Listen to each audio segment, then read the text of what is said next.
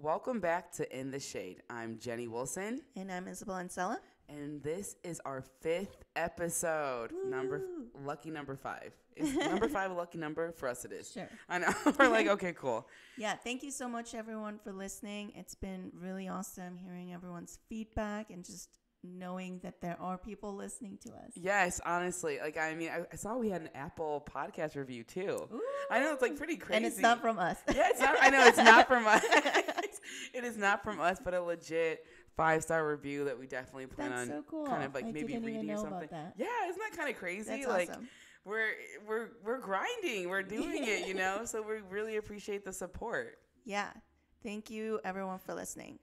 Um, just as a reminder, uh, we're uh, recording in the shade uh, to bring awareness for BIPOC people that have gone missing, but also we discuss um, BIPOC individuals that are convicted murderers. Um, so we're kind of uh, wanting to represent the both sides of, of the spectrum.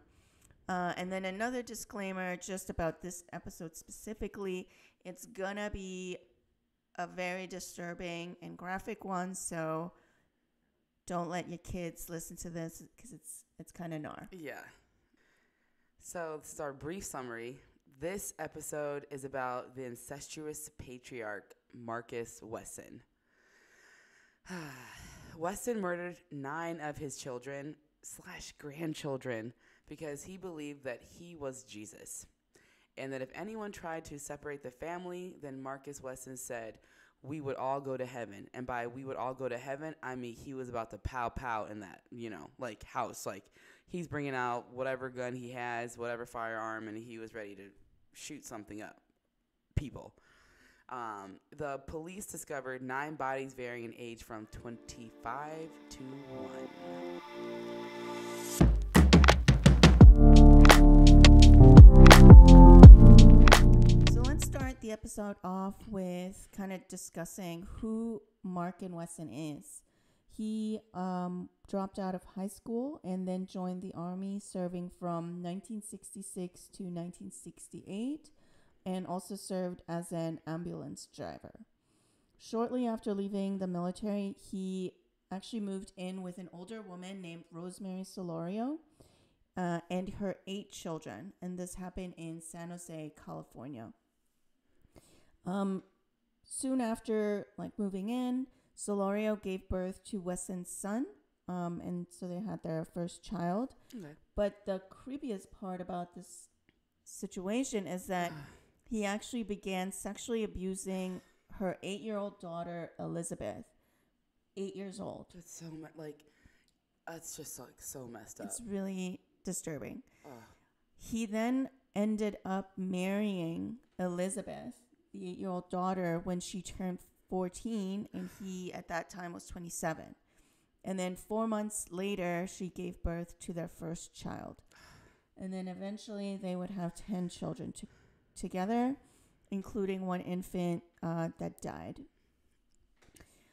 Um, really uh, interesting is also that Elizabeth's younger sister uh, left her own children, seven of them, uh, with Wesson and Elizabeth, claiming to be unaba- unable to care for them because she had a drug problem. Oh gosh. So he and Elizabeth were taking care of their 10 children, including her seven. This is So, like It's a, lot full of- house. A lot of kids. Um, and then to you know step it up a notch because you know marrying an eight-year-old wasn't enough.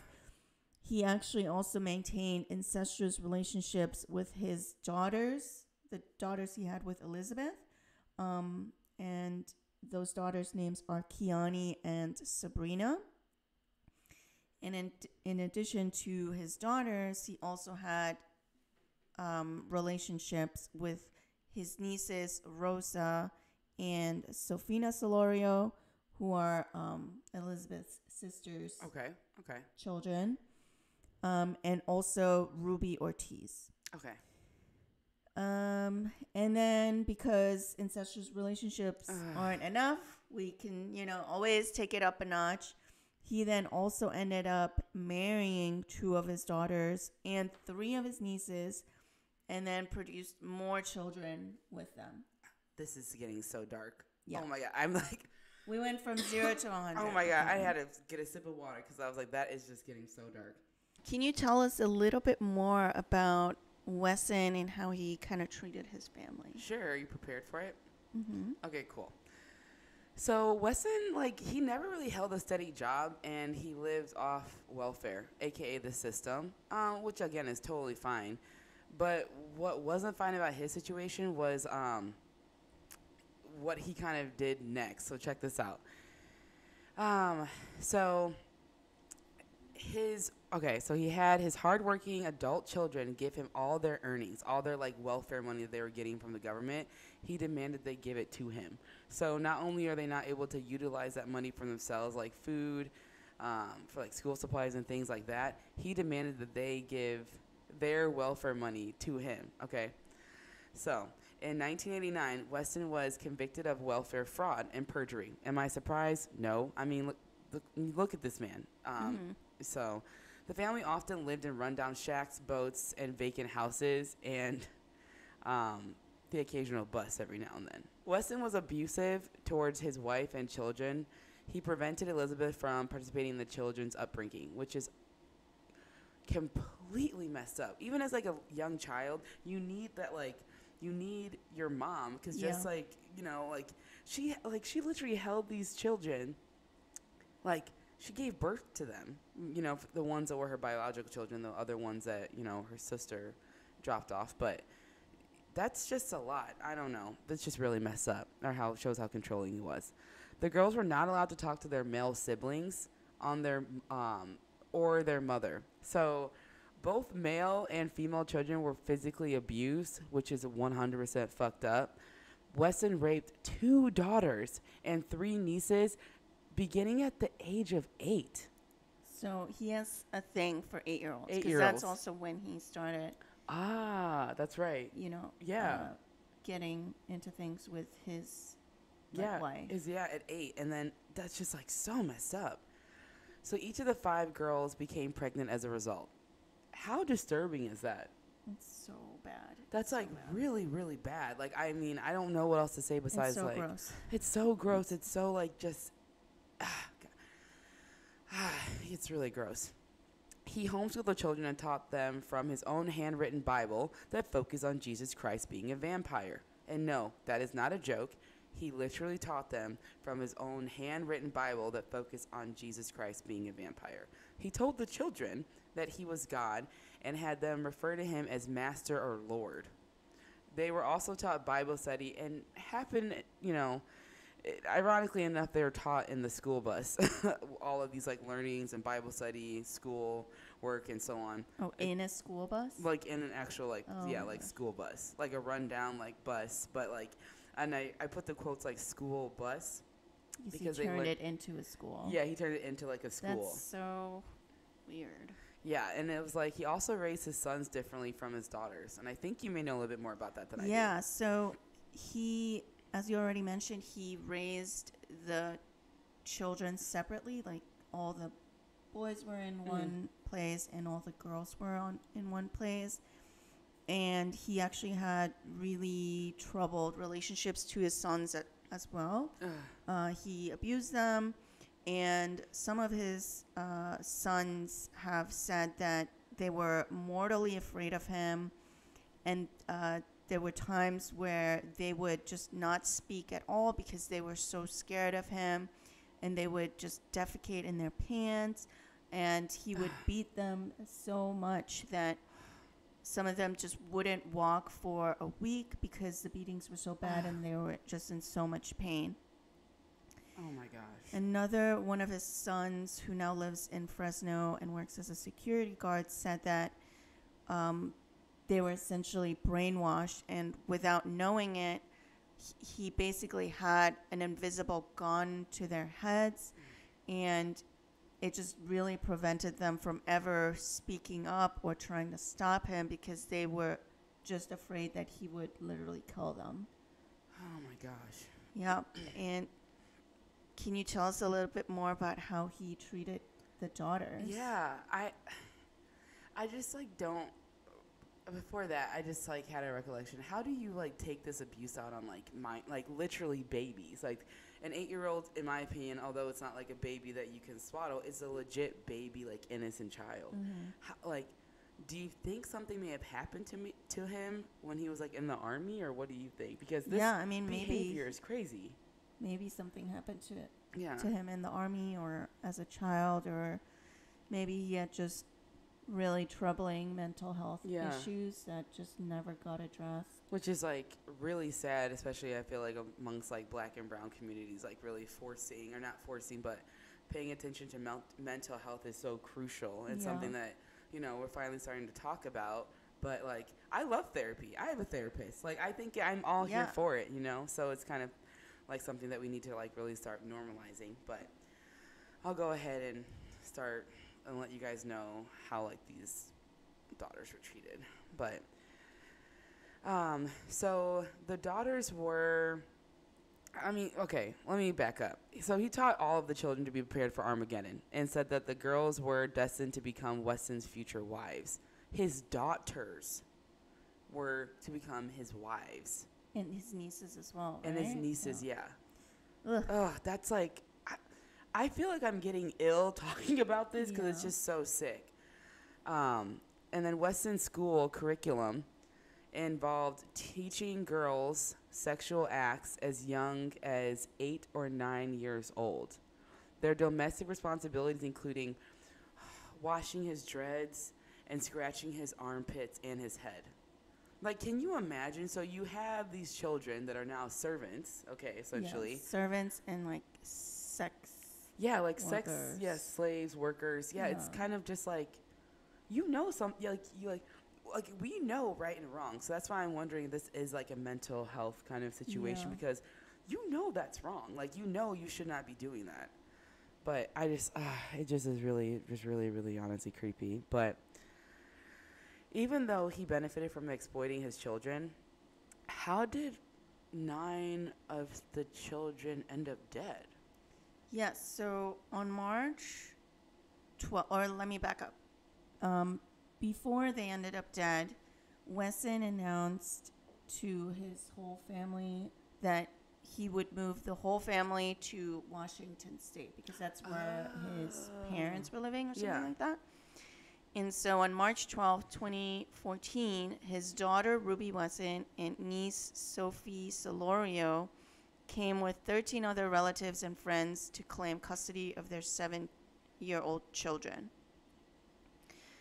And yeah, so the the two the daughter and the niece came and they invited other relatives to help get those seven year old children out of his custody. That makes sense. And obviously he was like not ready to let go Right. because you said uh, that he has said if the family's broken up, Mm. He would um, Pow pow. yeah, Yeah. they would go to heaven or whatever. He's shooting And everybody. so up. an argument started um, at the house, and um, the there was like a lot of commotion, and Ruby and Sophie ended up calling the police, who then arrived at the property to talk with Marcus. And then Wesson, uh, Marcus Wesson, met the police at the door, and he told them to wait. Um, but then he kind of like disappeared into the house. It's so weird. And then when he appeared at the door again, his clothes suddenly were covered in blood. and so the family and police, I guess, rushed into the house and they found nine of his children, including the babies of Ortiz and Solorio, dead. Um, so when they went into the house, they saw that they were all shot in the eye and stacked in the bedroom, oh my gosh. like on top of each other, kind of like logs or something. I don't know. Um, and on top of all the children was his daughter Sabrina, and um, also her own child as well. oh gosh. and um yeah it just seems really horrible and kind of strange that um, the police was there, but he- still had the opportunity to shoot all those children, n- Mhm. nine children. Yeah. It seems odd to be able to do that while the police is there and to stack them. Yeah, exactly. That's like that. None of that makes like, because obviously the police aren't going to be like hanging outside for like hours and hours. So he came back like in a relatively like appropriate time period. I'm assuming, Yeah. right? Yeah. Yeah. So that's like, Yeah, gosh. like I feel like the children probably were dead before the niece and um, daughter called the police Mhm. yeah, because I feel like it's like it should be more time consuming to like shoot nine people right. and then pick them up and stack them. Yeah, and it's weird too because like, did how do you hear that? Like, how do you not hear that like nine bullets went off and they were all and the police wouldn't just like wait after Yeah. the first shot. No, they wouldn't have waited at all. So it kind of makes you wonder, like, were they dead before they got there? Yeah. You know, like, but then also too, like, the weird part to me that's like fucking strange is like you answer the door without a bloody shirt and then you come back with a bloody shirt on. We're all gonna be like, gee, what just happened? You Mhm. know what I mean? So it's kind Yeah. of like, d- did you have something to do with it that like you helped? her or I like I don't know, but something Yeah. just doesn't. I guess something just does not feel There's right. a lot of gaps. There's a lot of in gaps. the murder. Yeah, and things just don't make sense. So I mean, I mean, the trial. I guess we can kind of discuss that interesting case because you and I were reading the police report, and that's when we were like, wait. This doesn't make sense because how does this make sense? Because even in the police report, it says that the police did not hear anything. Yeah, the police didn't hear anything, but um, some of the other relatives claim to have heard shots. Which, which is like weird, though, right? Yeah, like even if they heard shots, wouldn't you tell the cop that's near you, Yeah. "Hey, dude, I heard shots." Exactly, unless because um unless they were so brainwashed that they felt like if they snitched on their quote unquote dad, that like something bad would happen. You know, like what do Mhm. you think? Like is it they because if, I'm like their age, I'm like eight nine or something, and I like heard gunshots. Do you protect your dad, even though it's an Yeah. incestuous situation? And he, Well, like, these are them? like older yeah, children. In in these like Ruby and um what was her name? Ruby and Sophie, Mhm. they weren't living with him anymore. They like right. abandoned him. So they might not be under his brainwash His like brainwash power. spell, yeah. Um so it just seems really interesting that they're saying they died Yeah. in that moment, but from a timeline perspective, it doesn't. it doesn't to make sense. Yeah, nothing's like adding up or making sense. Because even if we like um, start talking about the trial, that is that like that is just weird. 'cause that's when we kind of started putting pieces together. Like something's not quite adding up. So, for example, the trial, right? Like we'll just get into it. At Wesson's trial, they presented the defense that his 25 year old daughter, Sabrina, committed all the murders, including of her son, Marshey, and then committed suicide. Okay, so that's like one thing that we were like, "Uh, I don't know. The murder weapon, a 22 caliber handgun, was found with her body, and Sabrina's DNA was found on the gun, which lent credence to Wesson's claim. The jury declined to find that Wesson fired the fatal shots, that's fair, but convicted him of murder anyway, presumably finding that he had persuaded his children to enter into a suicide pact. So, okay, Let's unpack this. yeah, let's digest that and unpack that. Do you think that she killed all like all of them? And by she, I Um, mean Sabrina. So, something interesting that they also wrote in the um, police report was that all the children that were dead were shot in, I think, the left eye, Yeah, except for her son, who was shot in the right eye. right. Which I don't know. That could be an indicator that like she was maybe favoring her or you know wanted her son to stand out. Mhm. Um, Or maybe she didn't do it. or maybe she didn't do it. Yeah, or maybe she I mean, didn't he actually do it. He still had a bloody shirt, so he had something to do with this. Yeah. Whether it's shooting them or moving the bodies, right. Um, or brainwashing them to do Exactly. the suicide pact. I also too. Let me know if your thoughts on this theory. What if like okay, so he answered the door, right? What if he like purposely came back with um like blood all over him to say like, oh my gosh, my daughter com- like committed suicide and killed everybody. Do you think maybe that's also like what he was thinking when he showed up in a bloody shirt, or do you think he was just Uh, mindless? Like he yeah, was just that like could have been it too. because they like they were clearly already dead. Because weren't some of and we won't get too graphic, but in the police report it talks about how some of the bodies were warm and some of them weren't, but majority of them were still warm. So it was kind of like recent, but also. Uh, we were chatting about this earlier. When you die, you don't just like instantly turn cold. It's like a slow, gradual process. Yeah. So I'm wondering if like he did that as like, oh, this is gonna help me in my case. I'm gonna show up and just with a bloody shirt. Like that just doesn't make any. Or what are your thoughts on that? I don't know. I mean, it it definitely is an interesting thought. Like maybe he did.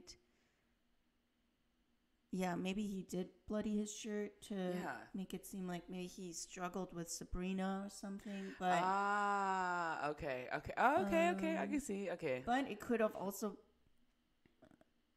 you know, just been his negligence because he moved the bodies, and so that's why he was bloody. ah, okay, okay. that Um, makes sense. I guess it's like the part that's so weird to me is like the reference of the stacked bodies. Yeah, Like that is like really fucked up.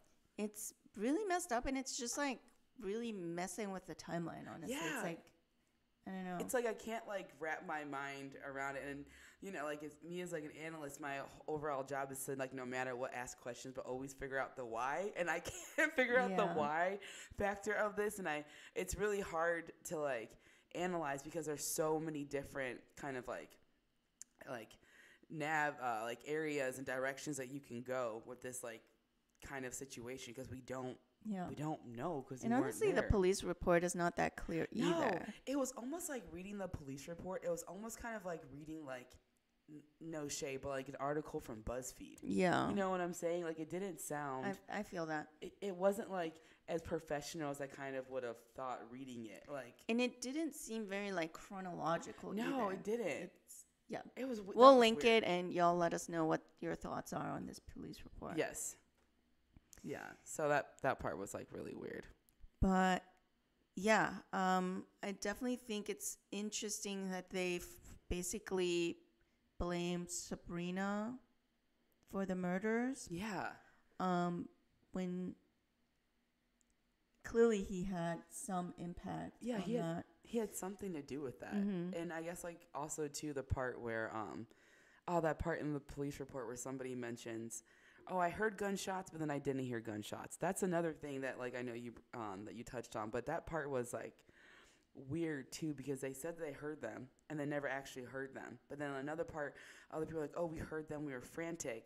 But then the police officers are like we heard nothing. Yeah, So that part was like it just doesn't really add up. Yeah, unless the police are lying, which I mean another avenue, uh, like another avenue. But I don't think in this situation that they would lie about hearing gunshots. They would, they would clearly say that they heard Yeah. something, right? Yeah. Yeah, I wonder why, if there weren't gunshots, I wonder why the family would make up hearing them. Right.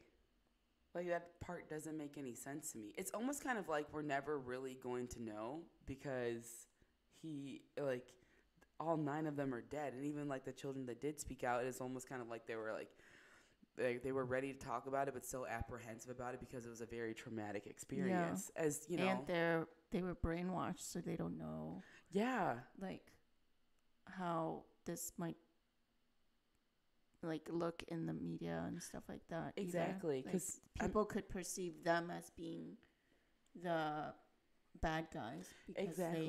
they did participate in some of these crimes. Exactly, and, and again, even going back to the police police report where it references um, like some of the children's names, and it's like, well, how could she have heard this? And it's kind of like, okay, well, now you're like you putting that in there's already giving that person like a reputation of being a liar, Mhm. even though they may have just been scared in that moment and have been like kind of coerced to say something, you know, because sometimes like the feds can do that, but I mean, we don't know necessarily, but the whole thing is just very, very weird and it's not quite clear because it just does not make sense. The only thing that does make sense is I do believe that he thinks that Jesus was a vampire. I do believe that. And I do believe that he thinks he was God. Like Yeah.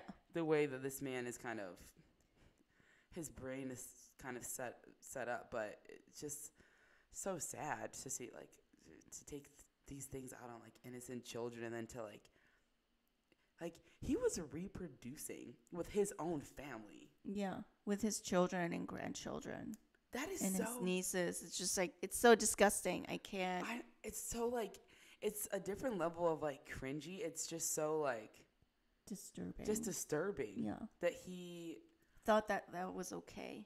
I like I don't know.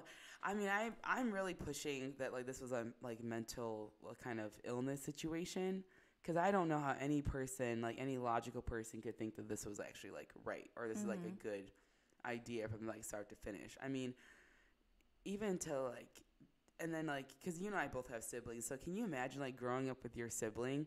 And I know you have a sister, and I have a sister too. Can you imagine growing up in like let's say we had brothers, and um, they were in like we were raised in the same household, but like not in the same household. Yeah.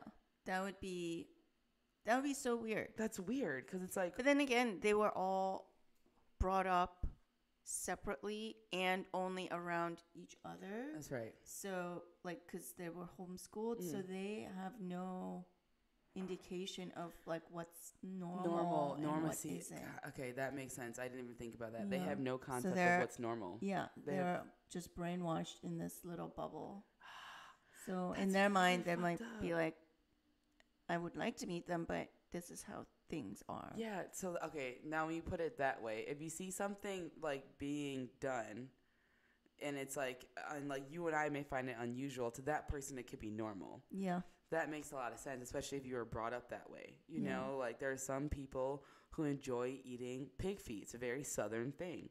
You know what? That is, I view that as obviously normal. Like when I see people see it, but somebody else that may see like someone eating like crawfish or like pig feet, they're like, "Wait, what's happening?" Yeah. And it's like, well, okay, you didn't grow up in, that, you, you know, Mhm. so like not to reference it to like pig feet and crawfish, but just kind of like, okay, well, this makes sense. This is a food that I see normal, but other people may not, you know.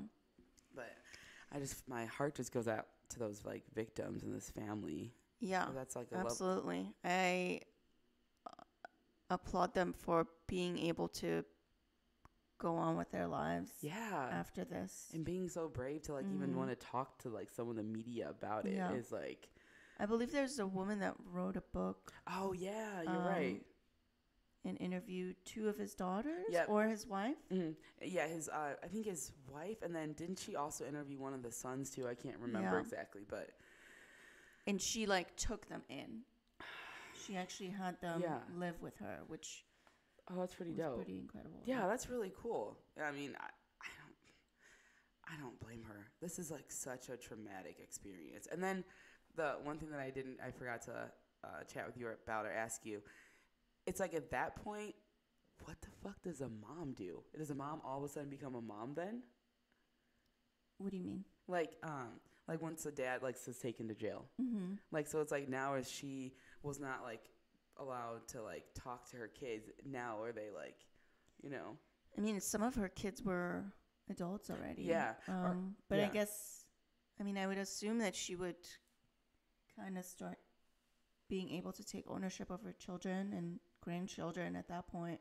I did see an article that talked like briefly about how like she um oh my gosh, there was like two different articles. One said that she was like still standing by him and the other one said that like she didn't know any all the things that he was doing was wrong. I do not believe that. Like you know right from wrong, but contrary, she was young when she when they Yeah. got like together. She was like what, 14 or something? She was eight. Oh, eight, yeah, when he started. Yep, uh sexually So it's all her. that she knows too.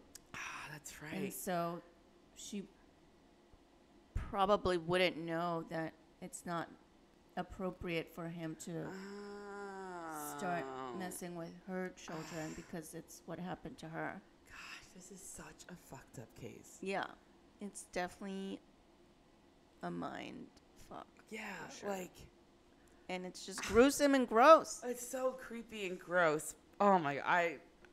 That's Yeah. it. That's my two cents on that. Yeah, so Oh. this is our fifth story. Yeah, our fifth story. and we're really, um, yeah, uh, yeah. giving y'all a dark one for Yeah. this one. Yeah, we gave you guys a dark one. Let us know your thoughts. Uh, feel free to again leave a review, and yeah, th- again, thank you for listening. You can find us on again Instagram, Twitter. Um, we are not on Snapchat, and I almost said Facebook, which we are not on, but Instagram, Twitter, TikTok, and YouTube. And yeah, thank you guys for listening to our um, our podcast Fifth episode. fifth episode again spotify google and Uh, Apple Podcast. apple podcasts and thank you again for listening i'm jenny wilson and I'm Isabel and Stella, and we're in the shade. thank you guys bye